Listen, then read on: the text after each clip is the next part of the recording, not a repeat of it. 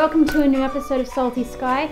Today we'll be talking about the price of fursuits and art, so let's jump on in. Ah, uh, hey Skye, can I talk? N- no? Great.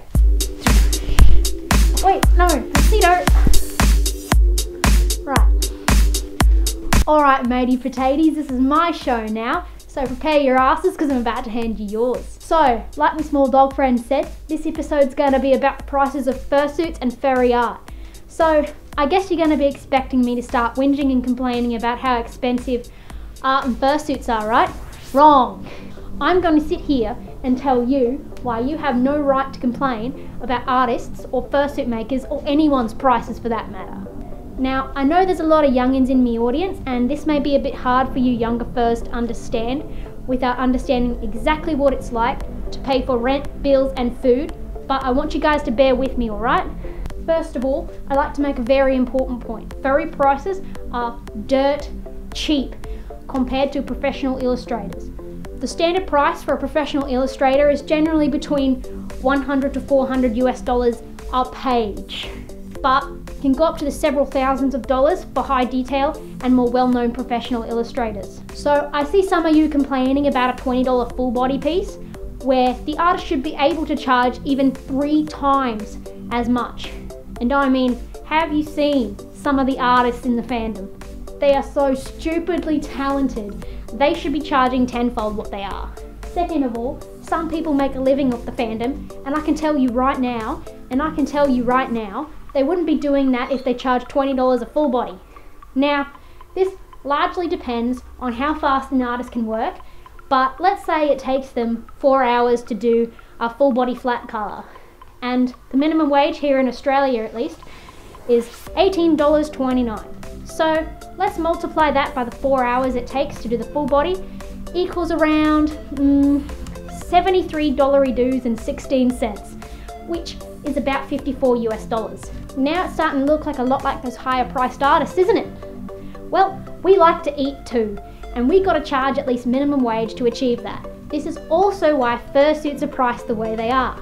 A full suit can take old mate Skye 100 hours and over to complete, so she should be charging a fuck ton more than she does. However, this now leads me on to the next section of my little rant here. Whilst artists should pay themselves minimum wage for any art, please have respect for those who choose to not. Some people are what we call hobbyists in the fandom, so they do it for fun and will often have study or some other job to go to, and thus art will take longer. So you need to have some damn patience for these people because their actual job will be paying them more than you are. And it'll take up a lot of their time.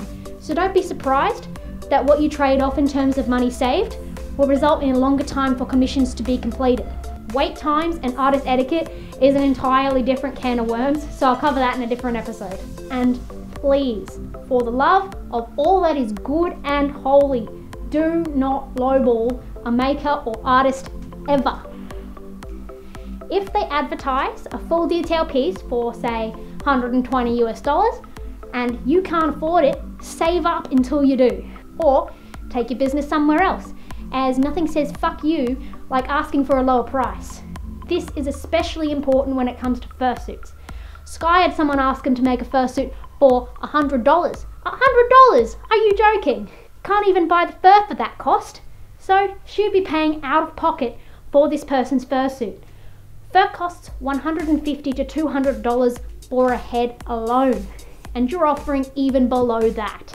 Now, now, before I see comments going, well, some people don't have much money, or I don't have a job, or I can't afford that. Yeah, I know.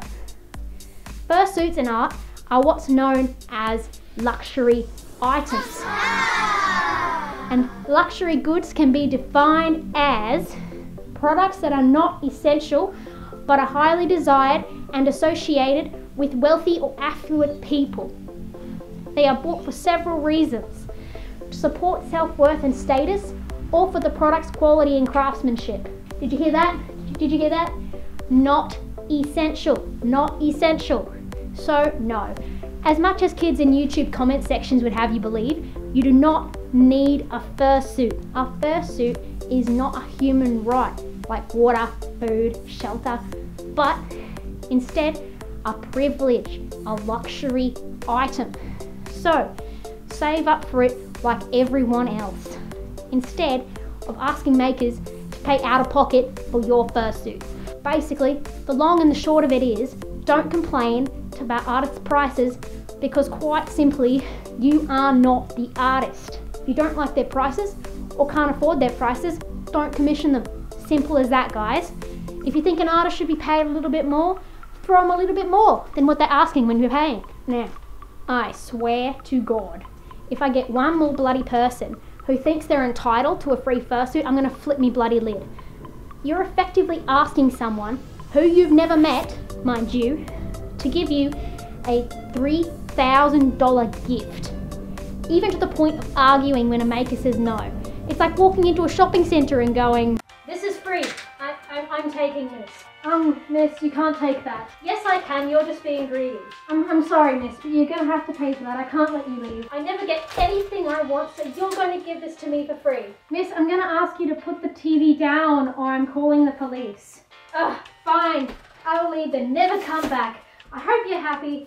Geez, fucking drama birds. Now, you wouldn't do that in a local shop, so don't do it online. It is exactly the same with art.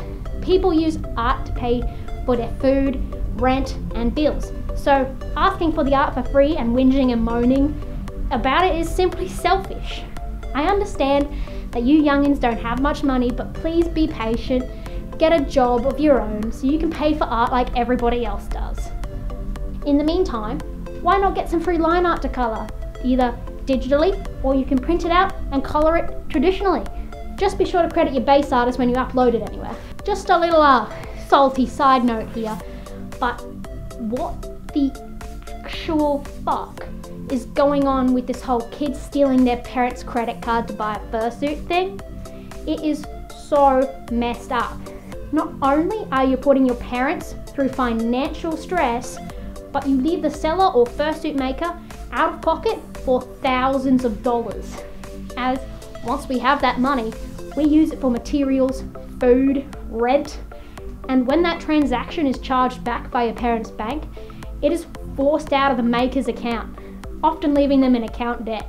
Also, a very, very, very important notice to any and all kids who are considering trying this it doesn't matter that it's your parents' credit card.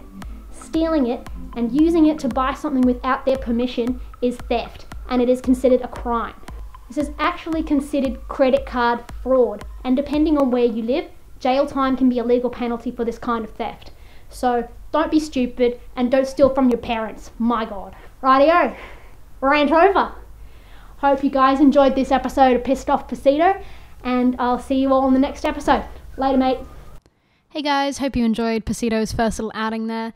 The fan art feature of the week is from Furry Art Asylum, who did me this badge of Skyfall Furdu a while back. Go check out their stuff, they do amazing things, and I will see you all in the next video. Bye bye now.